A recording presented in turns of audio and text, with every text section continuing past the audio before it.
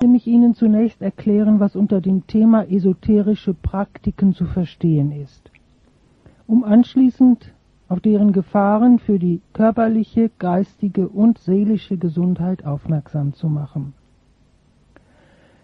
Das aus dem Griechischen kommende Wort Esoterik bedeutete ursprünglich okkultes Geheimwissen, zu dem nur Eingeweihte Zugang hatten. Heute bezeichnet der Begriff Esoterik eine verwirrende Vielzahl antichristlicher Heilslehren und Heilswege, die das Ziel haben, die Menschen an ein antichristliches Lebensgefühl zu gewöhnen und von esoterischen Praktiken abhängig zu machen. Das geschieht am leichtesten über die esoterische Medizin, also über esoterische Diagnose- und Heilverfahren, die sich als natürlich, sanft, ganzheitlich, alternativ oder gesund vorstellen. Gesund möchte jeder Mensch sein. Und weil die Schulmedizin, das heißt die wissenschaftlich ausgerichtete und an Hochschulen gelehrte Medizin, keineswegs perfekt und ohne Probleme ist, denken wir nur an die Nebenwirkungen chemischer Medikamente, ist ein jeder von uns in Versuchung, den Versprechungen der sogenannten Alternativmedizin, hier eingeengt auf esoterische Medizin, Glauben zu schenken und Heilpraktikern oder Heilern zu vertrauen, vor allem wenn uns die Werbung vormacht, die sogenannte Naturmedizin sei ohne Nebenwirkungen. Zur esoterischen Medizin zählen zum Beispiel Praktiken wie Ayurveda, die anthroposophischen Heilverfahren, Bachblütentherapie, die chinesische Medizin, Heilsteintherapie, die Modeerscheinung Feng Shui, zahlreiche Meditationstechniken, Pendeln und Wünschelrouten gehen, Reiki, die Geist- und Wunderheilung, Yoga und eine unübersehbare Fülle anderer Diagnose- und Heilverfahren. Vorweg. Diese sogenannten alternativen Verfahren, die gegen die Schulmedizin antreten, sind keineswegs ohne Nebenwirkungen. Sie können schwere körperliche, nervliche, vor allem aber seelische Leiden bewirken, ja sogar dämonische Belastungen, Umsessenheit und Besessenheit.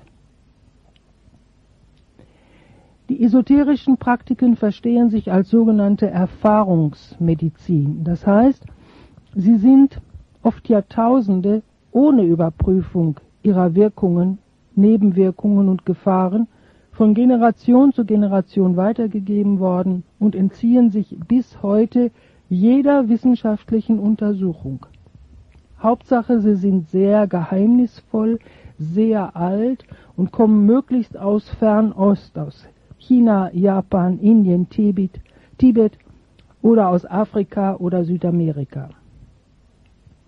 Gefährlich an diesen Praktiken ist unter anderem, dass sie den meisten Menschen unbewusst und von den meisten leider auch zahlreichen Katholiken unbemerkt den christlichen Glauben mit heidnischem Gedankengut, also buddhistisch, hinduistische, shintoistische, taoistische, animistische Irrlehren infizieren, zum Beispiel die Irrlehre von der Selbsterlösung, der Harmonie mit Natur und Kosmos, dem heilbringenden Streben nach höherem Bewusstsein, der Irrlehre der Wiedergeburt, der Leugnung der Sünde, dem Abtragen von Karma, der Selbstvergöttlichung und so weiter. Wie weit die Esoterik bzw. Magie und Okkultismus bereits in die katholische Kirche eingedrungen sind, wurde jüngst deutlich, als die südafrikanische Bischofskonferenz ein Hirtenschreiben gegen heidnische Bräuche veröffentlichte, indem sie den Priestern befiehlt, sich von Hexenmächten, Wahrsagerei, Geisterkult, Ahnenkult und dem Verkauf magischer Medizin fernzuhalten. Es heißt in dem Hirtenbrief wörtlich, zitiere, der Glaube, dass Ahnen mit übernatürlichen Kräften ausgestattet sind, grenzt an Götzendienst. Nicht zu akzeptieren ist die Verwendung von Magie, Zauberei und die rituelle Anrufung der Ahnen. Priester, die traditionelle Heilriten praktizieren, verwirren die Gläubigen. Wir fordern die Priester auf, im Namen Jesu Christi durch Sakramente und Sakramentalien zu heilen. Soweit das Hirtenschreiben. Eine von Wunderheilern bevorzugte Heilmethode ist die Handauflegung. Sie wird zum Beispiel bei Reiki praktiziert. Reiki gehört in Deutschland zu den esoterischen Massenbewegungen und ist laut Erfahrung von Exorzisten, die sich auf internationalen Kongressen austauschen, eine der gefährlichsten Praktiken unserer Zeit, weil bei der sogenannten Energieübertragung durch Handauflegung nicht selten dämonische Belastungen, ja sogar Besessenheit bewirkt werden. Ich möchte deshalb etwas ausführlicher auf diese Heil- bzw. dieses Heilsangebot eingehen. Um die Reiki-Energie auch in den christlichen Ländern weitergeben zu können, erzählte die Reiki-Großmeisterin Hawaii Takata fälschlich dem katholischen Priester und Direktor einer Missionsschule in Kyoto, Japan, Dr. Mikaomi Usui, sei die Heilenergie, mit der Jesus Christus geheilt habe, verliehen worden und von ihm durch Weihen an 2000 Menschen weitergegeben worden. Diese erfundene Geschichte hatte den erwarteten Erfolg. Und deshalb wird die Geschichte immer noch von Reiki-Meistern erzählt. Wieder besseres Wissen. Recherchen ergaben, dass es in ganz Japan weder eine christliche Schule noch eine Universität gibt, an denen ein Dr. Mikaomi Usui tätig war.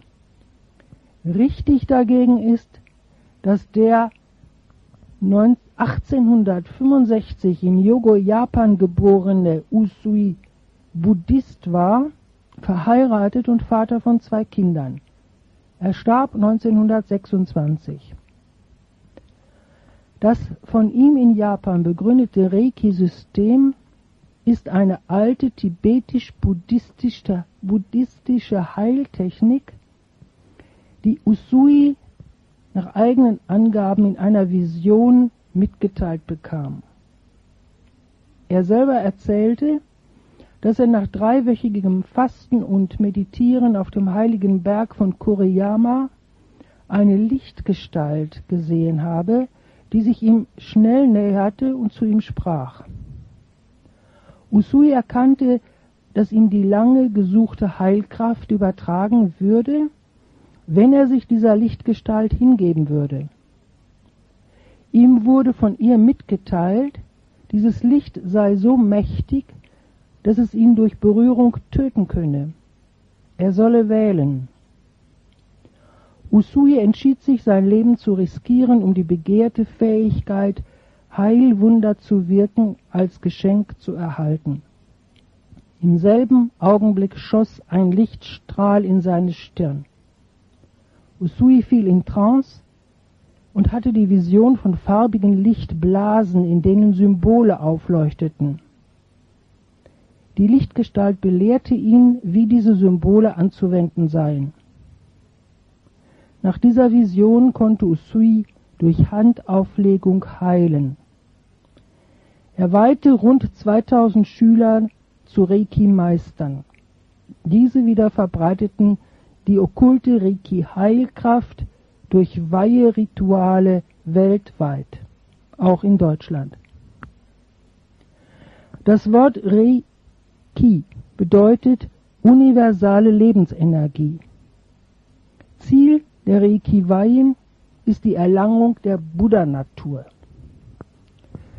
Reiki kann durch Übertragung bzw. Einweihung weitergegeben werden, und zwar durch Handauflegung.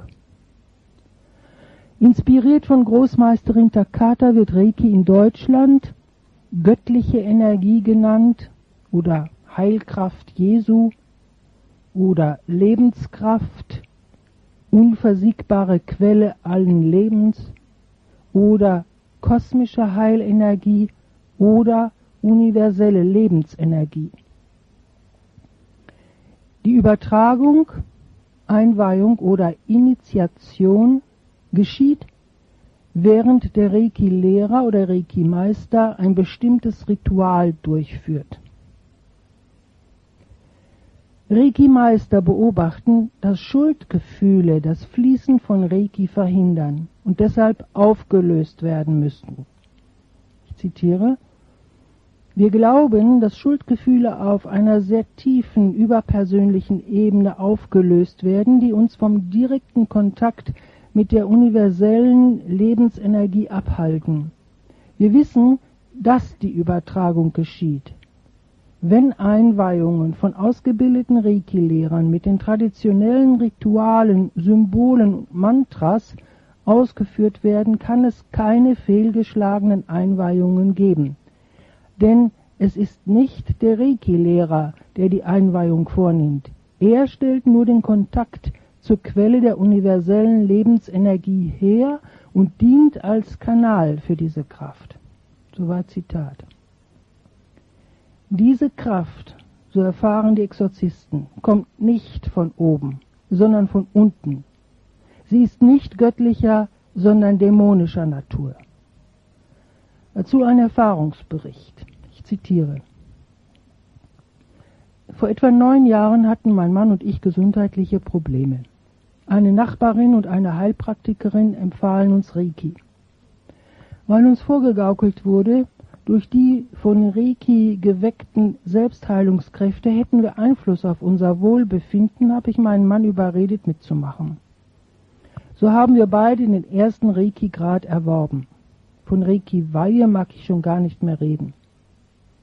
Durch leise Musik hatten wir uns einschläfern lassen. Das böse Erwachen kam bald.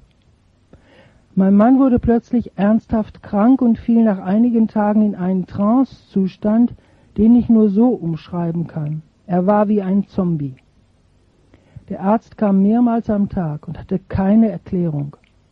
In meiner Not habe ich am dritten Tag unseren Reiki-Meister angerufen, der versprach zu helfen.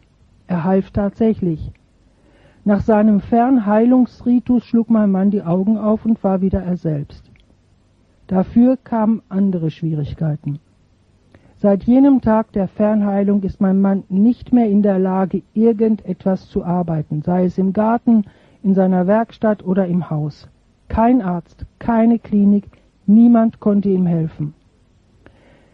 Es ist unmöglich, unsere ganze Leidensgeschichte aufzuschreiben, denn auch ich blieb natürlich von Problemen verschont, nicht von Problemen verschont.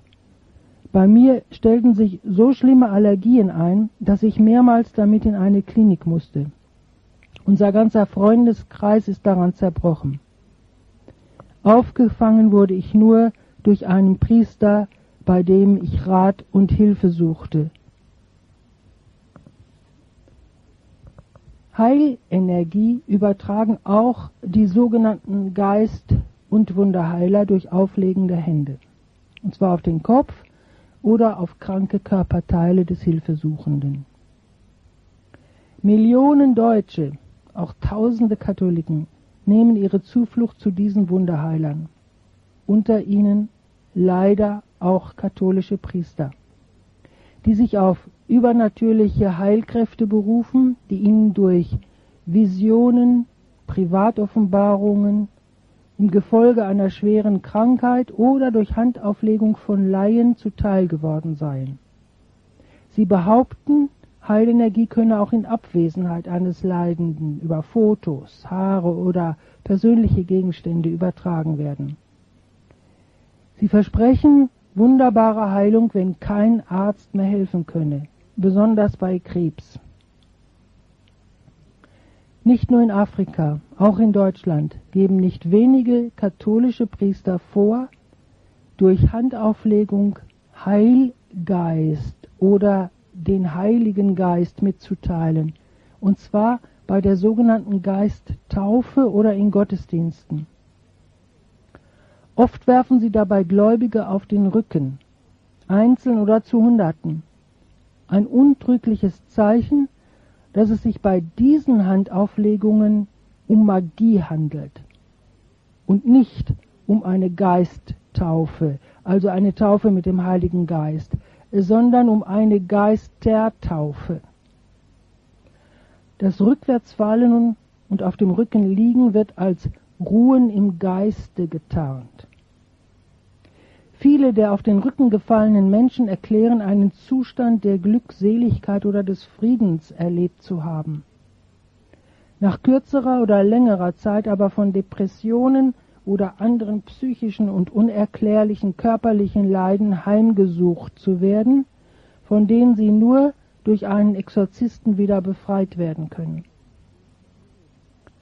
Schon Kardinal Sünens, der Vater der katholischen charismatischen Bewegung, warnte vor dem Phänomen des Rückwärtsfallens und unsere Anfrage bei Kardinal Ratzinger, dem heutigen Papst Benedikt, im Jahr 2004 bestätigten die Warnungen von Kardinal Sünens.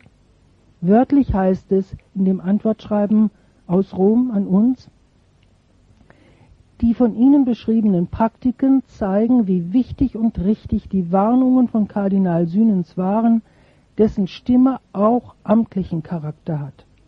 Das heißt, Rom deutet offiziell das Phänomen des Rückwärtsfallens bei Handauflegung als nicht vom Heiligen Geist bewirkt. Viele Katholiken sind ohne ein klares Urteil. Wundersucht, Erlebnishunger, Verlangen nach schneller und bequemer Heilung, mangelndes Glaubenswissen und mangelndes Wissen über Magie und andere esoterische Praktiken, blindes Vertrauen zu Autoritätspersonen, bei Katholiken zu Priestern und Visionären, massenpsychologisch geschickt inszenierte sogenannte Heilungsgottesdienste, Zeugnisse angeblich geheilter Personen und suggestive Ansprachen bzw. Predigten erzeugen eine Erwartungshaltung, die davon überzeugt ist, von Gott Heilung beanspruchen zu können. Vor allem aber erzeugen sie eine magische Atmosphäre, die über Gott, über den Heiligen Geist Verfügungsgewalt auszuüben versucht und Gott, vor allem den Heiligen Geist, damit zum Gehilfen des Heilers herabwürdigt. Das ist Magie. Das ist nicht der Segen der Kirche. Das hat mit Sakramenten und Sakramentalien nichts zu tun. Um es noch einmal zu verdeutlichen. Der Begriff Magie kommt aus dem Griechischen und bedeutet Zauberkunst. Nach magischen Vorstellungen können Geister, gute und böse, vom Menschen in den Dienst genommen werden. Um Heilungsmagie handelt es sich dann, wenn der Heiler die übersinnliche Welt beeinflussen, lenken und dienstbar machen will, um Krankheiten zu heilen. Esoteriker üben Heilmagie aus, wenn sie über die sogenannte kosmische Heilenergie, über feinstoffliche Strahlen, über Geistführer oder andere Geister mittels bestimmter Praktiken verfügen wollen. Katholiken üben dann Heilungsmagie aus, wenn sie über Verstorbene, Engel, Heilige, ja über den göttlichen Heilgeist, über den Heiligen Geist oder die Heilungsenergie Jesu Christi verfügen wollen. Der Mensch hat aber keine Verfügungsgewalt über Gott oder die reinen Geister.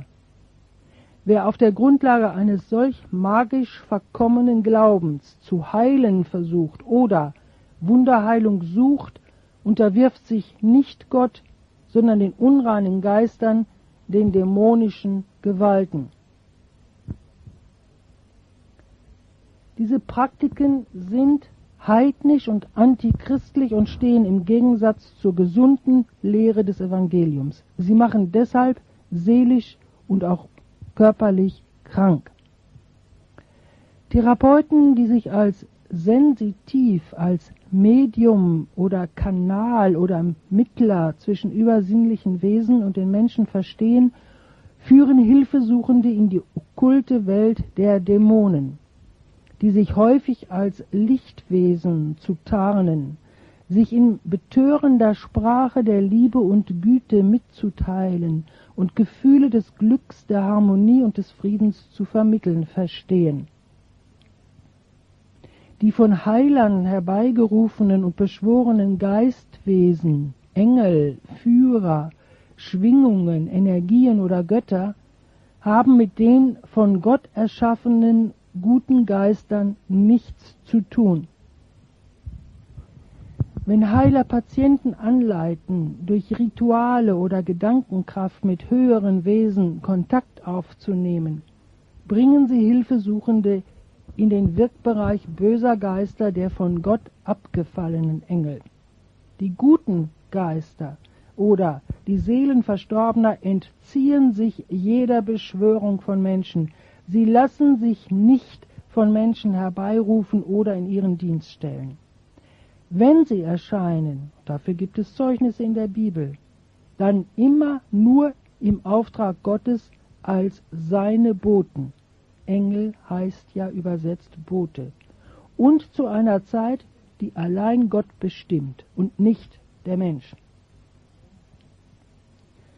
Zahlreiche Heiler setzen an die Stelle von Gut und Böse die Begriffe Erleuchtung und unvollkommene Erkenntnis, die es aus eigener Kraft zu überwinden gelte, um zu gesunden. Die Existenz des Bösen und der Sünde verwerfen sie als gesundheitsschädlichen Aberglauben.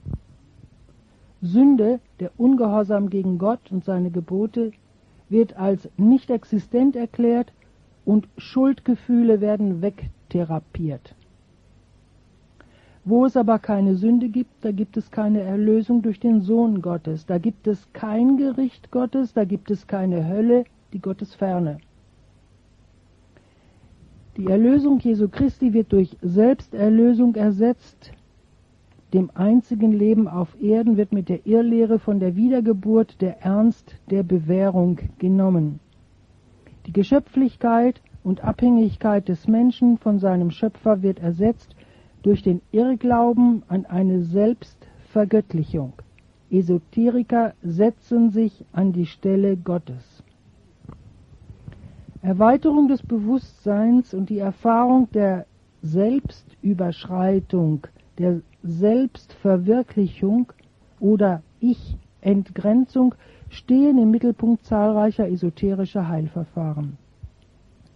Dazu gehören unter anderem Trance-Techniken wie Channeling, Deutetechniken wie Pendeln und Wünschelrouten gehen, Meditations- und Ekstasetechniken, Yoga, transzendentale Meditation, schamanische und spiritistische Praktiken.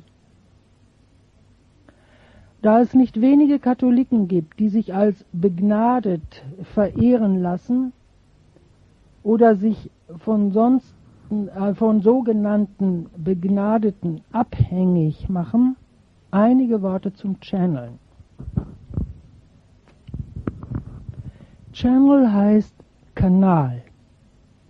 Beim Channeln oder Channeling nimmt ein Medium Kontakt mit höheren Wesen auf um Antworten auf Fragen, um Ratschläge, Botschaften, Belehrungen oder Warnungen zu empfangen.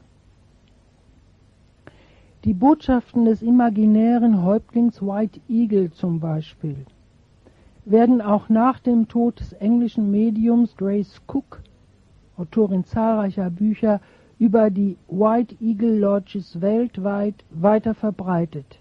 Die Geister White Eagles verkünden, zitiere, wir kommen aus der geistigen Welt, um euch eine Botschaft der Liebe und Hoffnung zu bringen. Ihr alle leidet auf vielfache Weise, die einen unter Schmerzen und körperlichem Unbehagen, manche unter seelischen Belastungen und Ängsten. Wir kommen, um euch zu trösten, um euch mit neuem Lebensmut zu erfüllen.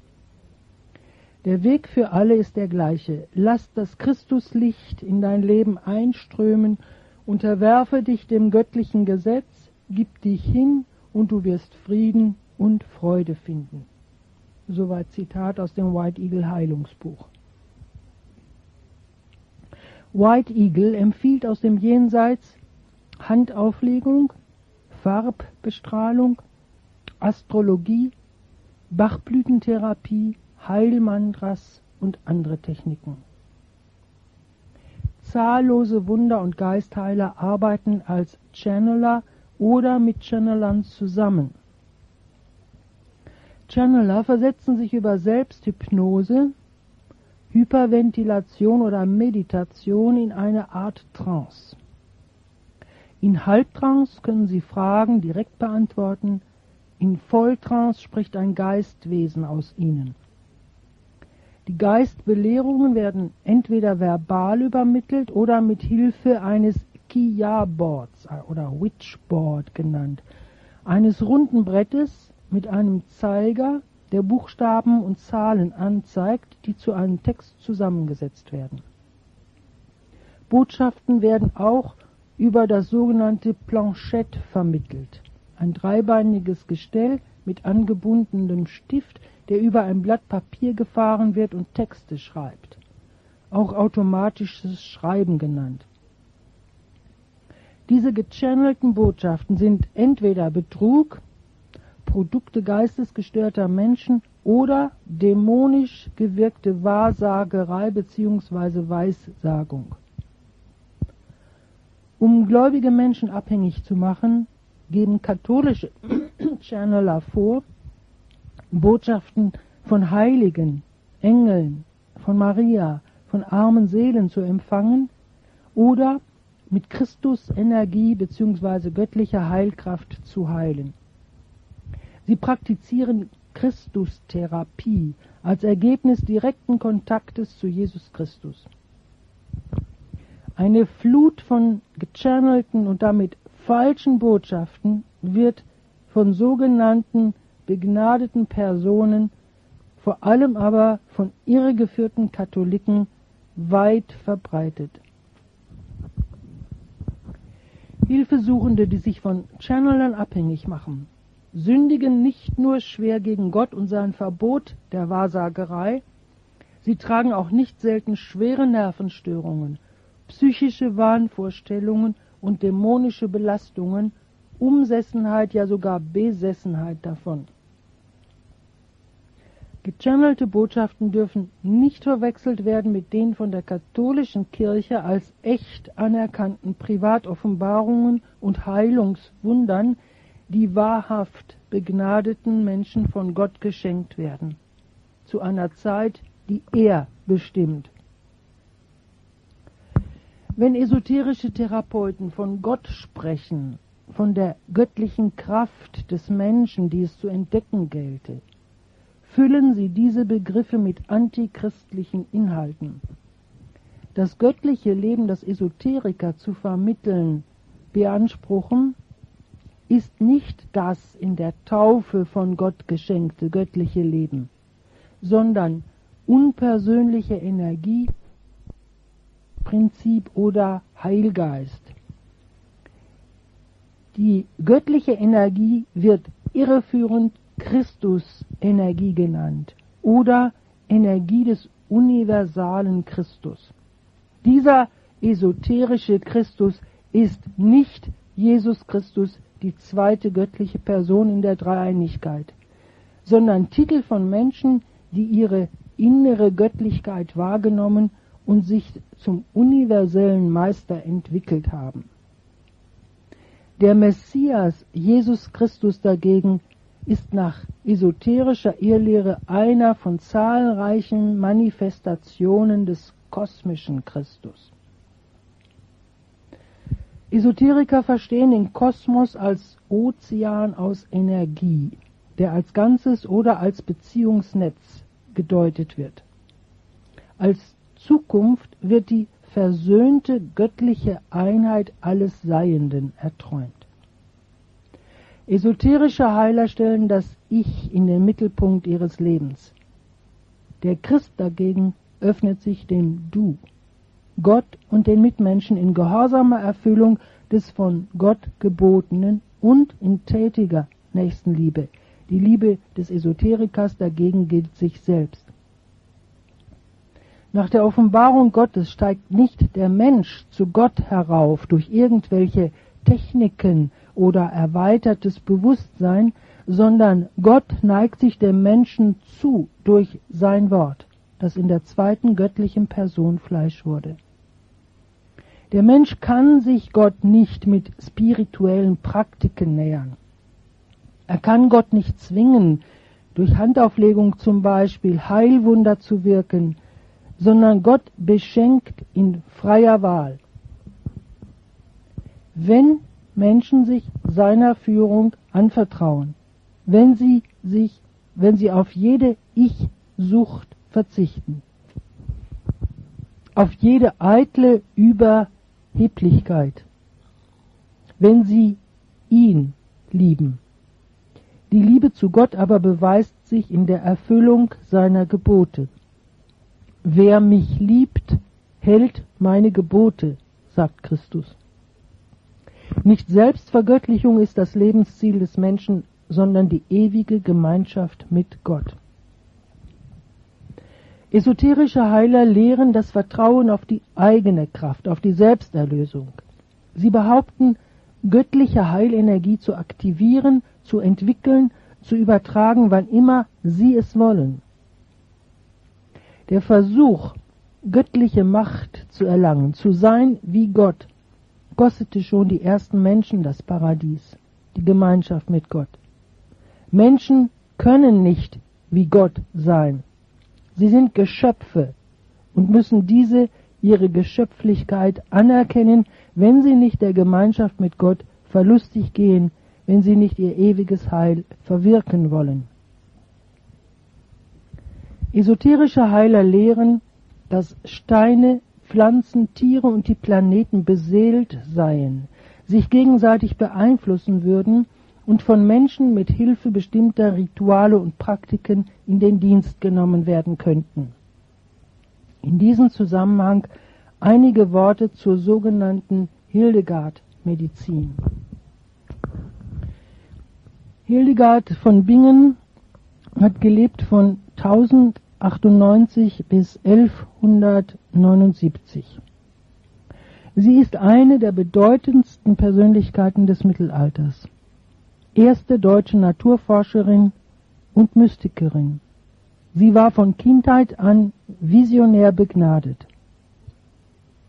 Ihre bedeutenden mystischen Werke wurden ihr unter Antrieb einer inneren Stimme vorgeschrieben, die ihr befahl, das Geschaute zu offenbaren.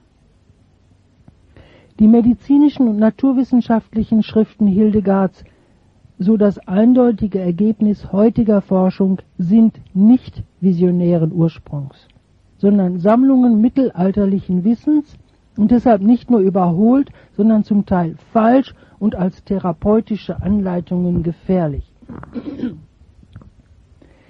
Die medizinische Schrift Hildegards Causae et Curae ist auch nur als Handschrift aus dem 13. Jahrhundert erhalten. Sie liegt also nicht einmal im Original vor.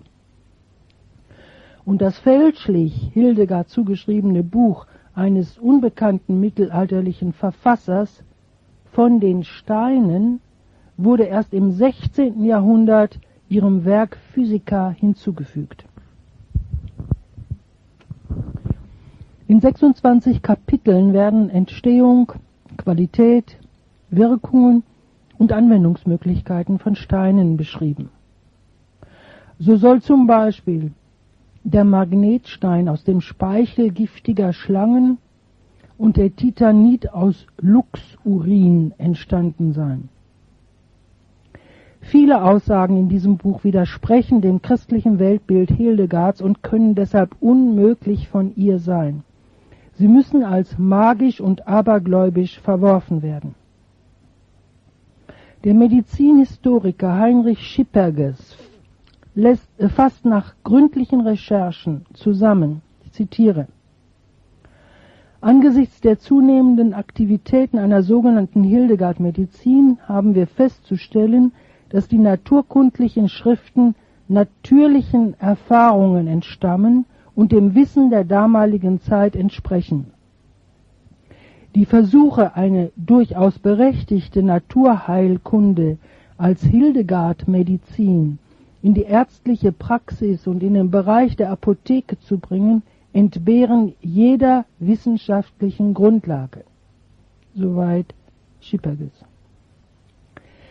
In neuer Übersetzung machten sich Dr. Gottfried Herzka und Dr. Strelo das Buch des anonymen mittelalterlichen Verfassers als Edelstein Medizin der heiligen Hildegard vor allem bei Katholiken bekannt um es später in der Esoterikszene gewinnbringend zu vermarkten.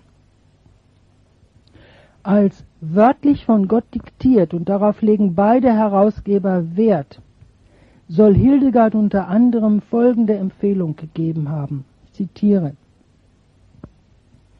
Ehe ein Mensch zu Bett geht, trage er allabendlich einen Achat offen auf der flachen Hand liegend kreuzweise durch das Haus der ganzen Hauslänge nach und auch in der ganzen Breite. Dort werden Diebe ihr Handwerk weniger nach Belieben ausüben und beim Stehlen weniger Erfolg haben. Soweit Zitat. Diese Anweisung, betonen die Übersetzer, sei sicher hildegardisch. Und sie betonen nur peinlich genaues Befolgen der Vorschriften führt zum Erfolg. So vor allem die therapeutischen, da sie ja Offenbarungen Gottes seien. Ich zitiere. Das mystische Diktat stellte Hildegard die Wortwahl nicht frei. So machte Achat zum Beispiel geschickt und feinfühlig und klug im Gespräch, weil der Achat aus Feuer, Luft und Wasser geboren wurde. Soweit Zitat. Ein Epileptiker könne geheilt werden. Ich zitiere, wenn er einen Achat drei Tage lang ins Wasser legt, wenn der Mond eben voll geworden ist. Am vierten Tag nehme er ihn wieder heraus und koche dieses Wasser leicht, ohne dass es aufwallt. Dieses Wasser soll er aufheben und damit alle Speisen kochen, die er verzehrt, bis der Mond ganz abgenommen hat. Soweit Zitat. Das ist Magie. Das ist ein Zaubertrank. Lebensgefährlich sind Therapien, die einen rechtzeitigen Arztbesuch verhindern. Zum Beispiel, ich zitiere, wo eine Spinne den Menschen an einer Körperstelle fixiert, da streiche man den Amethyst über die Bissstelle und er wird geheilt werden. Herzka und Strelo kommentieren, zitiere, sehr wohl ist auch an einen Zeckenbiss zu denken, dessen Gefährlichkeit in den letzten Jahrzehnten in zunehmendem Maße erkannt worden ist. Unseren Wanderern in Wald und Flur kann man nur raten, sich mit einem Amethyst bewaffnet auf den Weg zu machen. Die Zecken, die hauptsächlich im Unterholz auf ihre Opfer lauern, gehören nämlich zu den Gliederfüßlern wie die Spinnen auch. Soweit Zitat. Wer sich auf einen Stein verlässt, für den wird jede Hilfe gegen die gefährliche Zeckeninfektion wie Hirnhautentzündung oder Borreliose zu spät kommen. Zahlreiche andere Beispiele beweisen mangelndes Verantwortungsgefühl dem Kranken gegenüber. Theologisch völlig unhaltbar sind therapeutische Empfehlungen im Hildegard Stein Buch zur Heilung von Besessenheit. Es heißt da, alle Edelsteine sind ihrer Natur nach dem bösen Feind. Wenn ein Mensch vom Teufel besessen ist, so gieße man ein wenig Wasser über den Chrysopras und spreche dabei, O Wasser, ich gieße dich über diesen Stein mit jener Macht, durch welche Gott die Sonne mit dem Lauf des Mondes verknüpfte. Und dieses Wasser sollst du dem Besessenen zu trinken geben. An jenem ganzen Tag wird der Teufel in ihm gequält und immer schwächer und übt dann seine Kräfte in ihm nicht so aus, wie er es vorher getan. So verfahre an fünf Tagen. Am fünften Tag aber mache mit dem Wasser ein dünnes Brötchen, ein Dürrbrot und gib es ihm zu essen, auf welche Weise du es kannst. Wenn der Luftdämon kein Bösartiger ist, wird er von jenem Menschen weichen. Soweit Zitat. Auf folgende Weise könne man erkennen, ob der Luftdämon harmlos oder bösartig sei. Ich zitiere. Wenn der Mensch gerne lacht und andere Menschen freundlich, das heißt holdselig ansieht, und wenn er zwischendurch ab und zu mit den Zähnen knirscht und griesgrämig ist, dann ist dort ein gutartiger Luftgeist da. Soweit Zitat. Abgesehen davon, dass es keine harmlosen oder gar gutartigen Dämonen gibt, wird jeder Exorzismus zum magischen Hokuspokus abgewertet. Weitere Beispiele finden Sie in meinem Buch Irrwege des Glücks. Ein Beispiel noch angefügt. Zitiere. Nimm ein noch warmes Roggenbrot und schneide in die obere Kruste das Zeichen des Kreuzes, ohne aber das ganze Brot durchzuschneiden. Dann nimm den Hyazinth und ziehe den Stein diesen Schnitt entlang von oben nach unten und sprich dabei Gott, der die ganze Edelsteinherrlichkeit dem Teufel abnahm, als dieser seinen Auftrag übertrat, befreie dich von aller Verblendung und Zaubersprüchen und löse von dir das Leiden dieser Verwirrtheit. All diese Beispiele beweisen den antibiblischen, esoterischen Geist des mittelalterlichen Steinbuches, das Hildegard zugeschrieben wird. Unter Besessenheit versteht die Bibel die Inbesitznahme des Körpers eines Menschen durch einen oder mehrerer Dämonen. Dass es Besessenheit gibt, ist in der Bibel mit rund 50 Berichten über Teufelsaustreibungen, also über Exorzismen bezeugt. Jesus selber hat exorziert, um zu beweisen, dass durch ihn und nur durch ihn Satan und sein Anhang besiegt worden ist. Der Sohn Gottes ist dazu erschienen, dass er die Werke des Teufels vernichte, heißt es bei Johannes. Und nur im Namen Jesu können Menschen von Besessenheit geheilt werden. In meinem Namen werden sie, also die Jünger Jesu, Teufel austreiben, sagt Christus. In allen Exorzismusbeispielen der sogenannten Hildegard-Edelstein-Medizin ist kein einziges Mal der Name Jesus als wunderwirkende Macht erwähnt. An seine Stelle sind Steine und Beschwörungsformeln gesetzt tote Materie und Magie. Eine Unzahl von esoterischen Heilverfahren soll die Harmonie mit dem Kosmos und der Natur herstellen, um dadurch die Heilung von Krankheit und Leid zu bewirken. Der Apostel Paulus warnt ausdrücklich, die Hoffnung auf kosmische Mächte zu setzen. Seht zu, dass euch niemand betrügt durch Menschenweisheit, welche auf menschlicher Überlieferung und kosmischen Mächten beruht und nicht auf Christus, sagt er in seinem Kolosserbrief. Paulus warnt vor den Kosmokratorä. Kosmos heißt Welt und Kratos heißt Macht, weil sie satanische Mächte sind. Der Fürst dieser Welt ist der Fürst des Kosmos. Gott verbietet jede Kontaktaufnahme mit Satan und seinem Anhang, den Dämonen.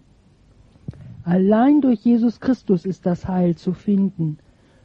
Nur in und durch Jesus Christus kann der Mensch Zugang zur übersinnlichen Welt finden. Keiner kommt zum Vater als nur durch mich. Gott lässt sich nicht durch Meditationstechniken, durch Mantras, Mandalas oder Formeln verfügbar machen, auch nicht durch eitle, selbstsüchtige Gebete. Zahlreiche esoterische Heilverfahren basieren auf weißer oder schwarzer Magie, die übermenschliche Fähigkeit wecken will und einsetzt, um geistige Wesen dienstbar zu machen. Diese Wesen sind immer Satan und seine Dämonen, die ständig den Menschen umlauern, immer bereit, sich ihm zu nähern um ihn in die Gottesferne hinabzuziehen. Gott verbietet die Kontaktaufnahme mit Geistern oder Seelen verstorbener Menschen. Ich zitiere aus der Bibel. Niemand finde sich der Wahrsagerei, Zeichendeuterei, Geheimkünste und Zauberei betreibt. Niemand, der Bannungen vornimmt, einen Totengeist oder Wahrsagegeist befragt oder Auskünfte bei den Toten sucht, denn ein Greuel für den Herrn ist ein jeder, der solches tut. Fünftes Buch Moses.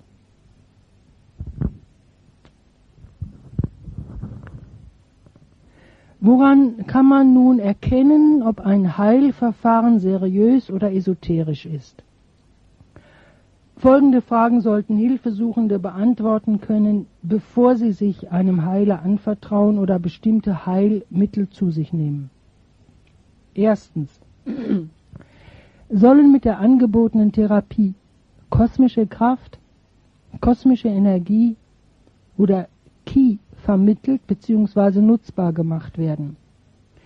Zielt die Behandlung auf gute Schwingungen oder Harmonie mit der Natur und dem Kosmos? Zweitens, welches Gottesbild steht hinter dem Heilverfahren? Glaubt der Heiler an Jesus Christus, den menschgewordenen Sohn Gottes, oder an einen unpersönlichen, universellen Christus? Drittens, betrachtet sich der Therapeut als Kanal, als Medium, als Visionär oder Mittler von unsichtbaren Wesen oder Verstorbenen, die sich ihm offenbaren? Viertens ist das Ziel der Heilung Selbsterlösung oder Selbstvergöttlichung. Steht die Therapie im Dienste der Gottes- und Nächstenliebe oder dient sie der Selbstverwirklichung, Selbstentgrenzung und Konzentration auf sich selbst? Fünftens. Verspricht die Therapie mystische Zustände? Stellt sie Kontakt zum Übersinnlichen her? Sechstens. Dienen Meditationstechniken, Betrachtung und Gebet der Befriedigung von Ich-Bedürfnissen, der Erfahrung von Leere und einem Rückzug von der Welt.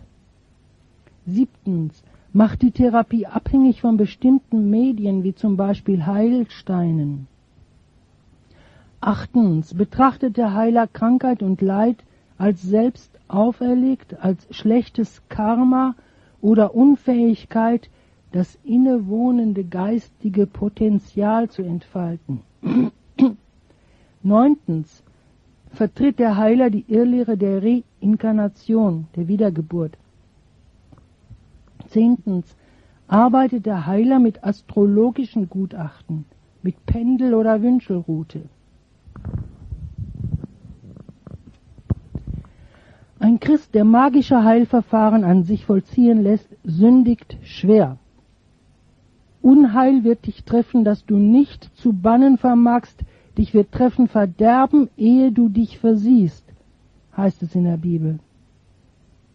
Sämtliche Heilpraktiken, die Magie und Zauberei anwenden, mit denen geheime Mächte, Energien, Kräfte dienstbar gemacht werden sollen, verstoßen schwer gegen das erste göttliche Gebot du sollst keine Götzen anbieten.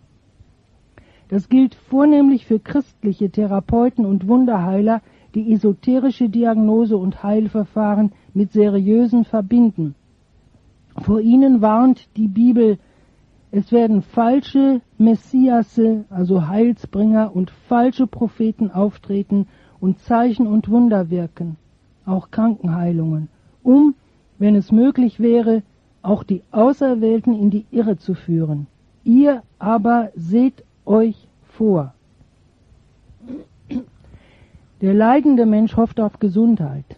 Er wird angetrieben von dem Ruf und der sittlichen Pflicht, sich gesund zu erhalten. Der leidende Christ setzt seine Hoffnung auf Gott. Er überschreitet aber die Hoffnung auf übernatürlich gewirkte Heilung, wenn er den natürlichen Weg über erfolgreiche schulmedizinische Therapien verweigert und sich stattdessen esoterischen Heilern anvertraut.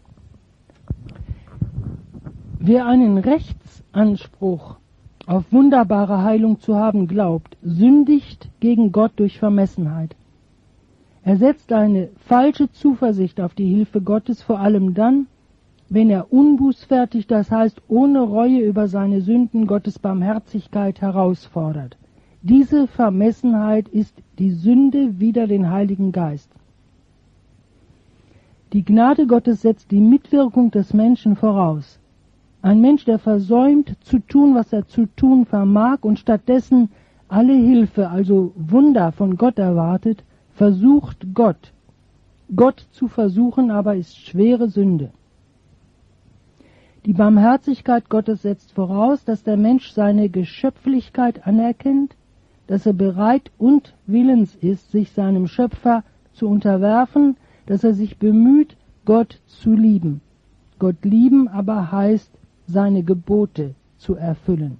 Wer mich liebt, hält meine Gebote. Sehnsucht nach Genesung ist letztlich die Sehnsucht nach Erlösung, nach dem Heil. Das Wissen esoterischer Heiler zu nutzen, indem sie nicht nur körperliche Heilung versprechen, sondern zugleich das Heil. Diese ihre Zielsetzung macht die esoterische Medizin nicht nur unvereinbar mit der wissenschaftlichen Medizin, sondern zugleich mit der christlichen Heilslehre. Wer sich nicht mit den weltanschaulichen Hintergründen esoterischer Diagnosen und Therapien auseinandersetzt, wird esoterisch verführt und geprägt, ob er es will oder nicht. Da nun leider der Mensch 90 Prozent von dem vergisst, was er nur gehört hat, empfehle ich Ihnen mein Buch Irrwege des Glücks. Es ist 240 Seiten stark und wird zum Selbstkostenpreis von nur 5 Euro abgegeben. Bestellanschrift Vereinigung zum Schutz schwacher und hilfloser Menschen, Postfach 2168 59531 Lippstadt.